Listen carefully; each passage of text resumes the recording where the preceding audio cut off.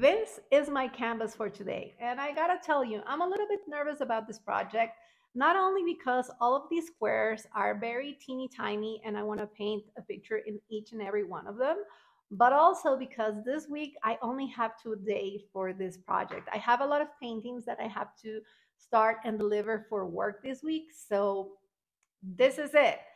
And if you're interested in seeing what my work as a professional artist is, I'm going to put my webpage here and my Instagram, and I'm, of course, going to link it below too. So, yeah, that's the intro. I don't have much time, so let's get started. Now, the first thing I wanted to do was solve the cube, not only because it triggered me for it to be scrambled up, I just could not paint on a side with different colors on it, but also because I thought if I ever scramble it once it's painted, how am I going to solve it if the pieces are not in the correct places? I honestly don't understand the Rubik's Cube algorithm or mechanism enough to know if this makes sense, but this is what I thought. I had to solve it, and for that, I follow a tutorial here on YouTube, which I'll link below if you're interested. And in any case, it only took me two hours to unscramble it. Yay! So here's the cube now solved and with a nice background ready to be painted. Um, back in my time, the Rubik's Cube I had was completely black and the colors were stickers you could take out. I know this because that's how we solved it before YouTube. By moving the stickers. Anyhow, these are not stickers, they are plastic color inserts and I'm going to paint them. At first I wanted to paint the whole cube just like spray painting it, but I thought maybe the paint when dried it would keep it from moving correctly. And also at some point I decided I wanted to keep this black outline around every square because I felt it was iconic. So what I did was sand every individual square. I started with the red red, but then changed my mind and did the yellow because it's the one side on which I kind of knew what I wanted to paint. I sanded the yellow squares and then applied gesso to each and every one of them. I tried to clean the edges as best as I could with a q-tip and a moist towel. Once the gesso was dried, I went in with my mechanical pencil to draw a few of the ideas for yellow that I had come up with. You know what? Actually coming up with the ideas that I wanted to paint on the cube was the hardest part for me.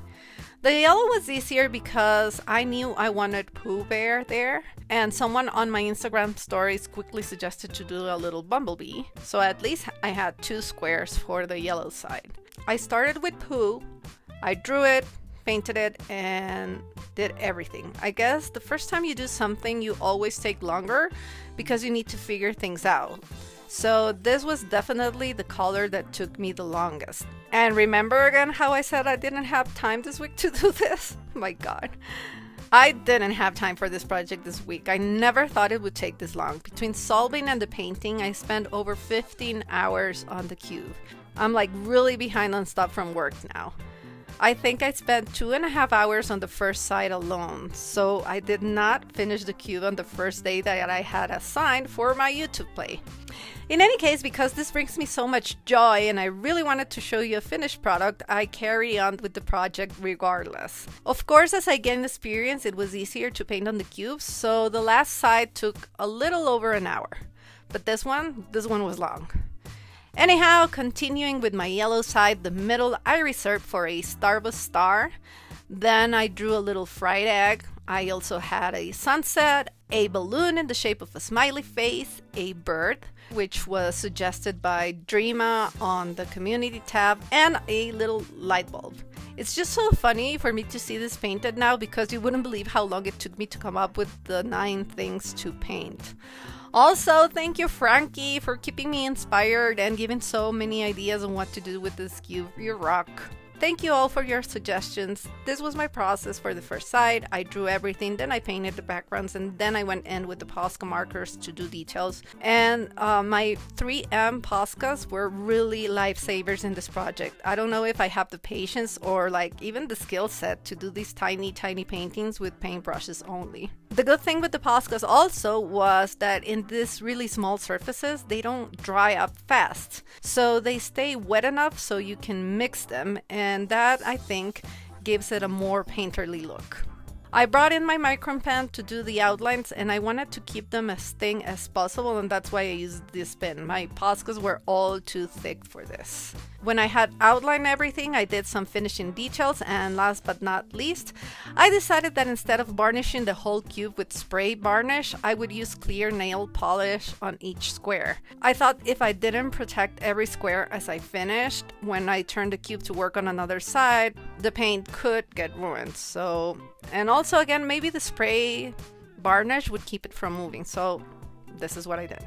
The next side was the red side, which I had already started to sand and I was about to put gesso on all of it. Before really starting, I did go back to the yellow side and fix some little things that I didn't like, like my Pooh Bear's face and the daisies. I thought it was nicer to have one yellow and one white. Back to the red, which I actually painted pink. I didn't want such bright colors, I wanted rainbow but softer. I didn't know how I was gonna fill these nine little squares. I was kind of playing it by ear still. I thought about a strawberry, some hearts, a rose, and a rainbow. And I definitely wanted to have a rainbow there because Klair's, Kalir, is that how you pronounce that? Suggested a rainbow. And she also has some very amazing ideas for a Wizard of Oz theme that I really want to do with something. Haven't thought about anything yet, but sounds colorful, glittery, and fun, so it's up there on my list. I did also add a ladybug, and I thought, okay, what else is pink? And I thought about a flamingo, so I tried to draw one of those, and you're gonna see that that became a no-no real fast. I think I lost so much time figuring out what to paint. I also painted a conversation heart, and I had an empty spot. So I started to detail a lot of the drawings, and that's when I decided that the flamingo had to go, and so did the rose and the ladybug. So I painted all over all of those and then came back to it the next day. Yes, this is the next day because at this point I've already spent, I think, six or seven hours with my cube, and all I had to show for it was one side finished. So I came back and I had a better idea of what I wanted to draw. I spent the night using my sketchbook. I wanted to have a Care Bear and then a little pig and some cherries, and I decided to keep the ladybug, but I just wanted to draw it differently. So I started again drawing and painting everything, and I regretted the Care Bear, so I covered it and continued with the details. When everything was dry enough to paint, I tried to do the conversation heart letters with the Posca, but that did not work at all. So I brought out my teeniest, tiniest, teeny tiny paintbrush. This is the smallest paintbrush I own. Look how small it is next to my nail. Anyhow, it was still a struggle to write with it, so I don't know if I'm really built for tiny detail painting. I don't think I am. I don't think I have the emotional skills or the like skill skills to do it. It takes a lot. It's really hard. I admire people who do this even more now. Anyhow, changed the ladybug a bit because I wanted it to be more like a character. And then I decided to do a cute little mushroom in the middle where I had nothing. I added lots of details and again varnished this side. Next color is the side which I had already sanded, so I just needed to add the gesso and a mixture of baby blue. While that dry, I sanded the orange side, and because it hadn't dried yet, I also sanded the green side and added gesso to the orange side. Once the blue was dried, I was happy because I knew exactly what I was going to draw in each one of these nine squares. Here's my sketchbook to show you how I thought about this last night, and I was starting with this color and I was very excited. What I wanted to have on this side was a little cloud with raindrops, an evil eye for protection, a hot air balloon, a little ocean with a paper boat, a jellyfish, a whale, a little piece of earth, a blue flower, which I now forget what the name of it is. Oh, I don't remember. And last but not least, a little moon with a star. This time it was a speedier process just because I could go in and draw everything and move from square to square, changing color, not thinking about everything that much. So that was great. It was a lot of details, but again, it just moved faster.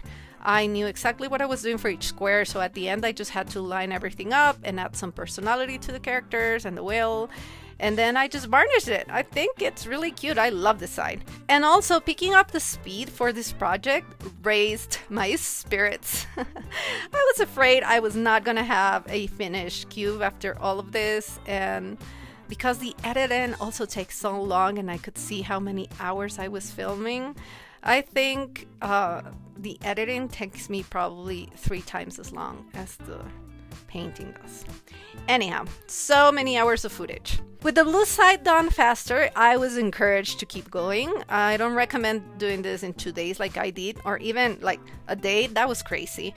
Your eyesight gets tired, it's just a lot of tiny details. I think you would probably enjoy it more if you took like a long time with it and like drink some tea, watch a series, listen to some podcasts, and just, you know, enjoy it because it is a beautiful project that I actually love doing it. I just don't want to put this type of time pressure on myself. And maybe if I did a second one, I'll probably approach it differently. Instead of nine tiny paintings, maybe I would do like a whole painting in the side and each square just complements that painting. I don't know if I explained that well.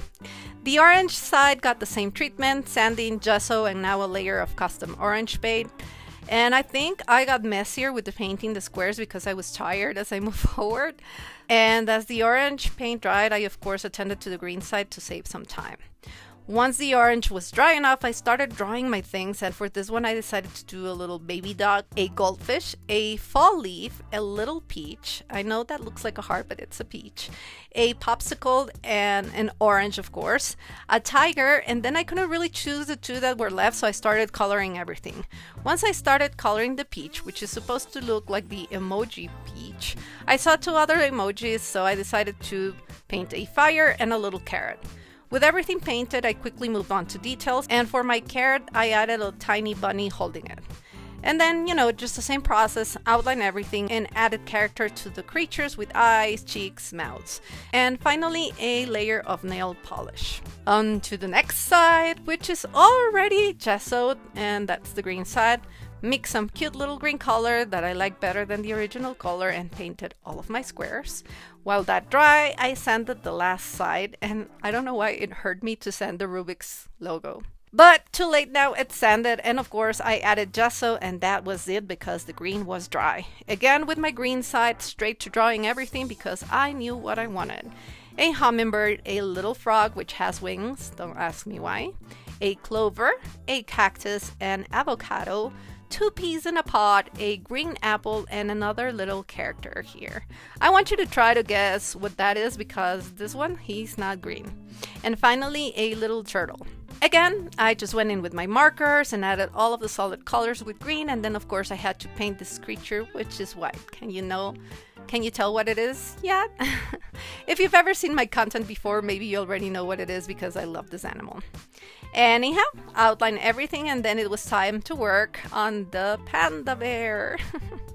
and I thought it would be appropriate to have it on the green because he has a green background, which, you know, could be bamboo trees. I don't know.